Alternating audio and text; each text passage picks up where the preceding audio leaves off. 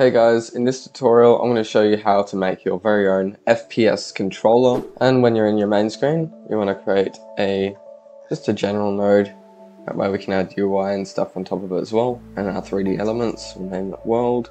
We're going to create a node 3D and underneath it uh, let's name that objects. And of course this is going to contain all our objects. So if we type in CSG box 3D this is going to be what our ground is. It's like a mesh and a collision shape. And I'm just going to scale that down. So now that we've got our floor, we need to select use collision. We select that on. That means our player will be able to collide with this mesh. And if you want, you can you know, change the material. And of course, you can create how many more other objects you want.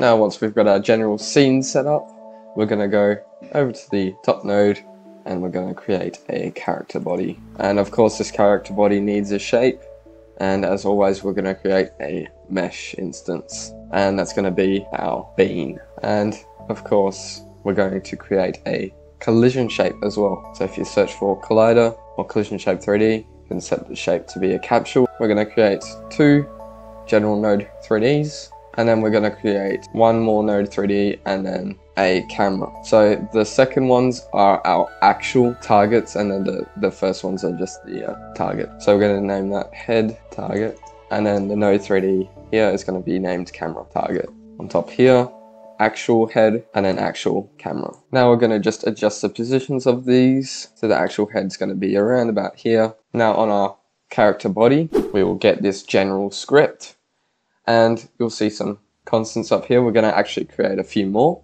I'm going to create speed, which is going to be a float. This is going to be a variable because we can change that whether we sprint or crouch. And then we'll just define the crouch and sprinting speeds. And we're just going to delete the other constant, that was just regular speed. And then we've got two more. One's going to be our sensitivity, now we're going to create our references for the nodes. And what we're going to do is we're going to go over to head target. We're going to go select and drag it over. And before you drop it, you're going to hit control and hold control and it will create an actual variable. This is what I do without holding control. You'll see it just creates a reference. So let's just do that for the other ones as well. Now that we've got our references in ready, we are going to set the mouse input to be captured. What this will do is just means that the game will capture the mouse movements. Now we're going to handle the mouse input for the camera rotation in unhandled input. Unhandled input is all the inputs like WASD or any mouse movement or any mouse button click or literally anything that the player is doing on their keyboard or mouse, uh, which isn't including any GUI items. So in this one, we're going to check if the event is an input event mouse motion, which means the mouse has moved from its last position. And then we're going to rotate our head targets. So what this is going to do is it's going to rotate our head target on the y-axis like this, like around the player like so. And it's going to take the x relative movement of the mouse. And we're going to do a similar thing, but for the up and down movements. Obviously now we're moving up and down and we're going to rotate that on the X direction like so. And right now what would happen if you run it is if you try and go down along the y-axis, it would just keep rotating along the y-axis. It would keep going past your feet and back up again. So that's not what we want. So let's actually do a clamp. And what clamp does as a function is, as the name suggests, it limits a value to its min and maximum values. Now for the actual movement in the process function, first of all, we need to sort out what's going to happen with our targets and our head. So what we do in process is we're going to use something which is called linear interpolation or LERP for short, which means it's going to smooth out two values and kind of create a nice transition in between the two. So the values in question are going to be our translation and our rotations of the head and camera. So let's go actual head position x. Reason why we're not doing just position in general is because of the crouching we're going to implement later. If you don't want crouching, you can just do position and then just the player position. But we need to do it separate if we want to also do crouching. Now we're just going to duplicate this and just replace the X with a Z. You can tweak with the figures a little bit, but I find that it's better to actually multiply it by another 5 again, because if you don't do it, it seems a little bit laggy and I would like the linear interpolation to be a little bit more snappy.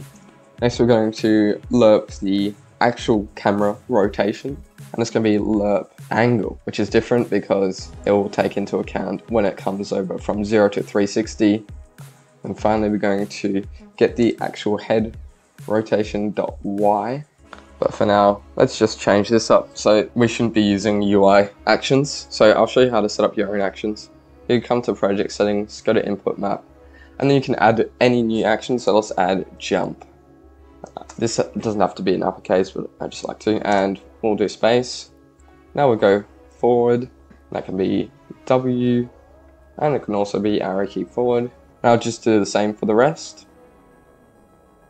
Sweet, now we've got all of our actions. We can change that to jump.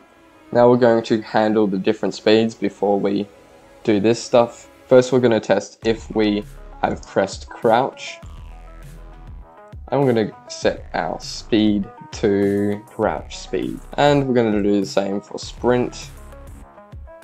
And if nothing else, we're going to set our speed to walk speed. Now another thing I would like to implement with crouch is to shift our camera to go a little bit down when we crouch. We can actually do that by setting the actual head position and we're going to set it to be 0.3 units below our current player position. Now you can tweak this value as much as you want, you can set it to as much as 1 or whatever, but I find that even just doing something like 0.3, 0.5, whatever you want should suit your project. And of course we are going to multiply it by delta times acceleration. And I'm going to times it by 4. And we're going to copy and paste that in all of those Except in these ones, we're just going to set it to our normal position.y. And let's just change up these UI actions as well. And instead of being transform.basis, we're going to get the head direction. So we'll go actual head, which is going to be the direction the actual head is pointing. Dot transform dot basis Finally, let's change up these walk speeds to be our speed variable. But the problem with this is we're not linear interpolating, so let's do just that. And we're going to do the same for if we aren't pressing anything, except we're going to have the weight amount to be less. We can run the scene and we can stop in the air and, and we can like start moving in the air. But you'll notice that in a lot of games, when you're in the air, you don't have that much control of your movement. So what we're going to do instead of that is we're going to tab this up going to check first before doing this if is on floor. And if so, we can just do what we were doing before. But if it isn't, we're going to, again, copy and paste what we just had there. And instead of timesing it by 2, we're going to times it by something like 0.5. Cool, so that's all for this tutorial. Hopefully you enjoyed this FPS character controller tutorial. Hopefully it helped out with uh, your problems and hopefully it adjusted uh, the issues that you were having when the, the camera was getting quite jittery, especially when you were moving it a lot. So I definitely know that I had quite a few issues with that when I was doing it myself. But yeah, anyways, I'll see you guys in the next video.